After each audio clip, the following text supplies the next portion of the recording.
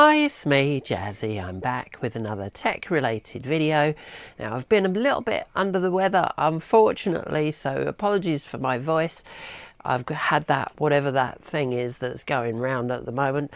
But I thought I'd do a follow-up video on the last Temu Tech stuff that we had, because we had a few items that arrived damaged or weren't working as they should do, including the frequency standard and those nightlight things. And we'll do a little bit of a bonus teardown on some of the other Temu novelties as well. So let's get over on the bench and take a look at what we can make of this. Okay, so update on the Temu frequency standard then. So this one obviously arrived damaged and apologies for my voice, I've been rather under the weather lately. So when this product arrived, the capacitor was still attached, as you saw in the last video. Unfortunately, it's pulled the pad off the board. Now the capacitor was sort of flapping about here. My plan was to very gently try and desolder it and reattach what was left of the pad to the board, but unfortunately, while this was sitting on my bench and I was doing something else, I managed to knock the capacitor off it with something else rather clumsily.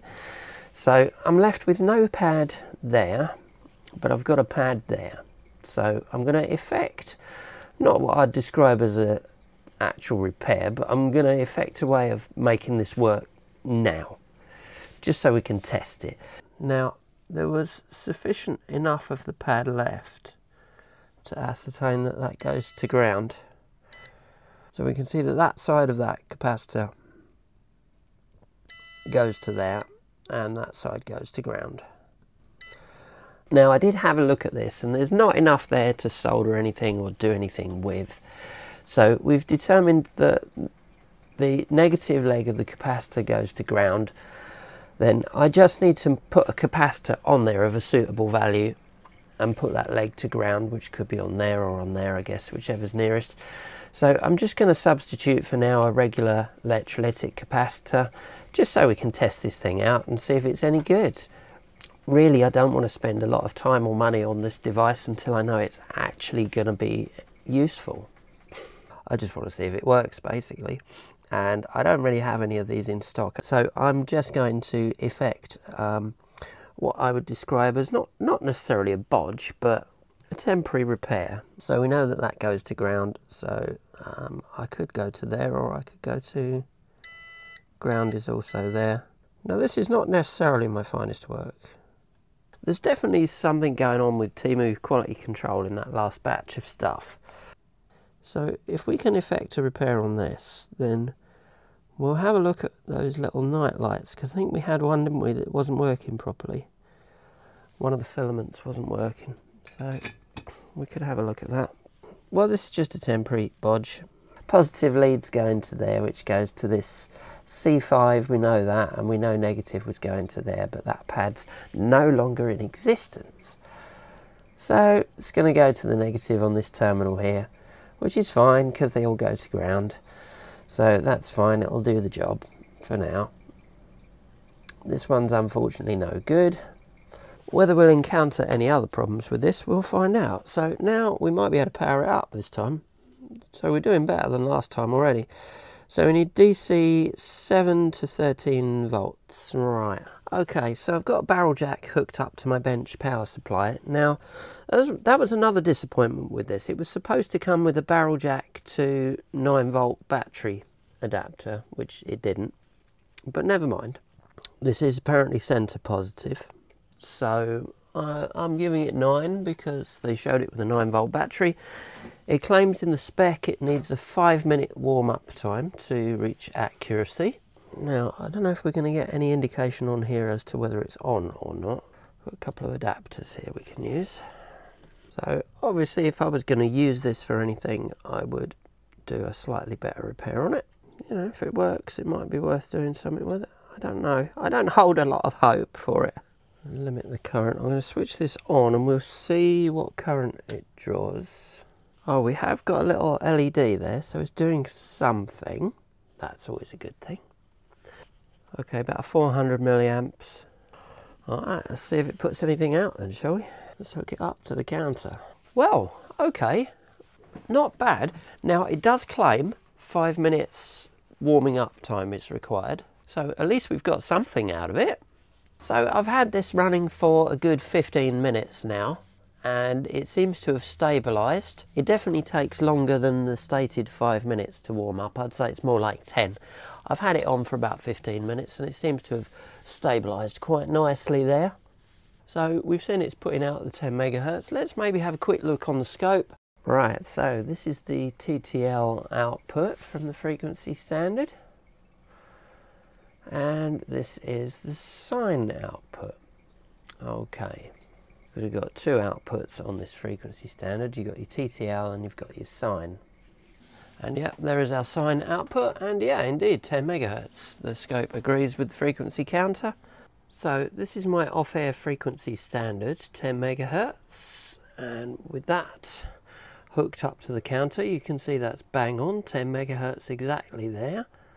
Now they have very kindly provided a nice little trim pot on the board so we can adjust this. Takes a few turns, nearly there. Give it another go. I think we're kind of on the limit here, but we got it. Yep, 10 meg, exactly. Fantastic, look at that. We are literally right on the limit of that trim pot though. It's got no more to give. But there you go. 10 megs. So, from an item that arrived damaged and I thought it had no hope, it's actually done alright. Might be worth me properly replacing that capacitor as it does seem to perform its duties of putting out 10 megs. And it wasn't even a lot of money. Probably one of the better Temu Tech Time items. Well, I've had this running for quite some time since I did that adjustment and it's remained rock solid. So what can I say? I'm happy with that.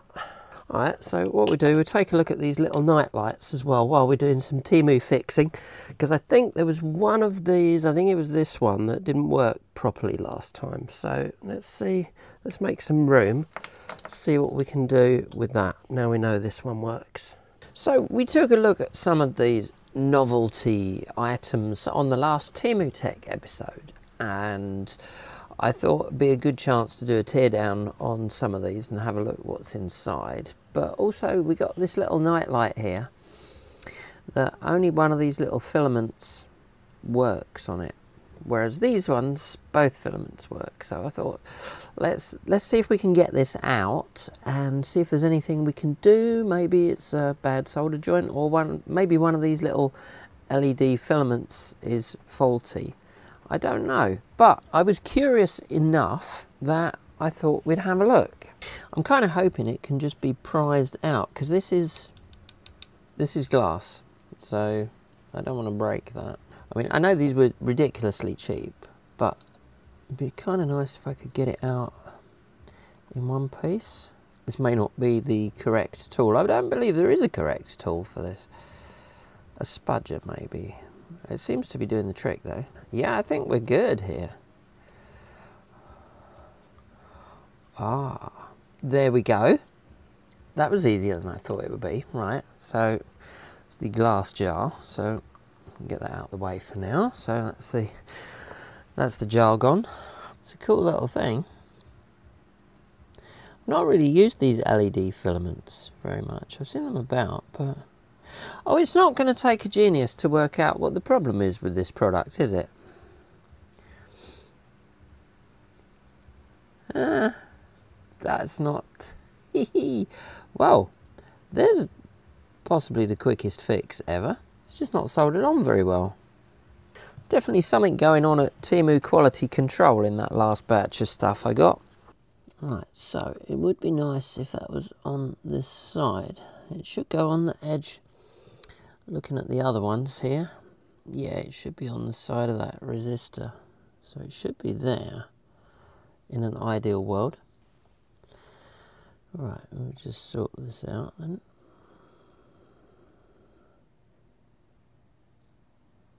Okay. Potentially the easiest repair ever, isn't it?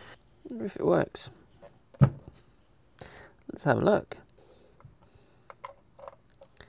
If the touch thing will work without the Oh, it does. Oh, yes, there we go. Look at that. Fantastic. We have it working. and then you can dim it down. Yeah, lovely. Turn it off, on, make it brighter. Yeah, great. Okay. Fantastic. There we go. Cool. Yay. Awesome. Oh, chuffed with that. This is the thing you get with buying the cheaper end of products. you get to repair them yourself before you use them. That's quite cool. We've got all of them. There we go. So we've got them all working now. Fantastic. Ah, pleased with that. It's the little things in life. That's got to be the easiest repair ever. Not really a repair, but uh, kind of. Anyway, I thought while we were taking a look at those Temu lamps, we'd take a look at a couple of the other Temu items and maybe take these apart just to see what's in there. Now, if you'd not seen the last episode of Temu Tech, you wouldn't have seen the fact that I was extremely underwhelmed with these supposed flame effect. That's even worse than I remember. not impressed with that at all. But we had this this little gadget as well, which makes the whole thing somehow even worse. You plug that in and then you go, close the light, open the light, close the light. Yes, it does what it's supposed to, but I figured let's have a look inside these things and see what's in there, what makes it tick. Get a bit more enjoyment out of these products. Now, how can I get this apart? Is this just gonna Ah, good. Okay, so, right, so it's just a strip of LEDs. I've got one little chip there, too sure. Does that? Ah, it does. Doesn't look like there's anything on that chip. No, it looks like they've moved, removed the markings so you can't tell what it is. Mouse bites, where they separate the strips. Must have been on the end of the row, this one. So literally that's, that is all it is. So quite an anticlimactic teardown really. There's not really a lot in there to see. One little IC on there that we can't tell what it is because it's got no numbers on it. But satisfies my curiosity. Oh, look at that. That's somehow better, isn't it? It's interesting to note though the, the pattern. So you've got two that remain lit constantly and then you've got these four that kind of blink with the right atmosphere, I guess kind of, yeah, it's kind of, if you look at just the glow, and don't look at that. Yeah, that's kind of, Eh. okay, well, that is literally it. I was quite underwhelmed by these, but you see, this is why I buy these, so you don't have to. I buy them and test them out so you can buy the ones that are good and maybe not these. I don't know what I'm going to do with these. Let's see if we can get this one apart. There might be more interesting stuff in here to look at. They've somehow managed to make the cheapest USB connector. When in doubt, small screwdriver in the nearest gap will do the trick. What do we have? Probably not a lot. I don't know. Right. Oh, here we go. Right. Here's the little board then. So, wow, look how wonky that is. I don't know which one is worse. That's why I was having trouble plugging stuff into it. The connector's completely wonky on the board. That is not a great quality USB connector at all. We've got a date on here, have we? 25th of the 3rd, 2025. Can we glean anything from this board? Oh, we can actually see what the chip is, I think, on this one. So BGA 47C4B, can't find any information on that. When I look it up, some sort of unknown microcontroller. And we've got a couple of little transistors there. Mic 1, there we go. That is what is listening for you to say, open the light, close the light, and whatever else you're going to say to it and have a nice little chat with it. That that seems to be it. I don't know what I was hoping to find inside there, but now we know what is in this little device. Perhaps not the most thrilling video today. Well, at least we know what's in there now. Now, these were kind of just novelty things that I bought for the Christmas episode, so they're not things that you're most likely going to buy, but just in case you were wondering what is in there, not the finest quality, but it was cheap. So there we go. At least now we know what's inside some of these Temu novelty products. Not a lot, but it was fun taking a look, wasn't it? I'm quite surprised by the frequency standard as it does seem to work rather well. And it remains rock solid at 10 megahertz with that bit of adjustment. And I'll have to take the time to do a better job with that capacitor replacement. That was just a quick bodge for this video. And of course, as I'm feeling a little sorry for myself at the moment, probably not my best work, but hey, it works. And I'm glad I got the little nightlight working. I know they were only cheap, but they're quite cool. I quite like these. There's something rather charming about them, and they seem like they'll be quite useful.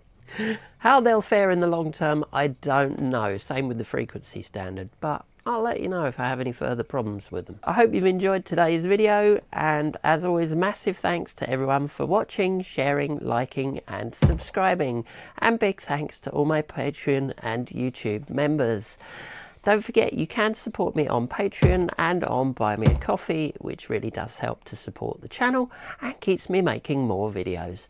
I'll be back soon with another tech related video, but in the meantime, take care and I'll see you on the next one.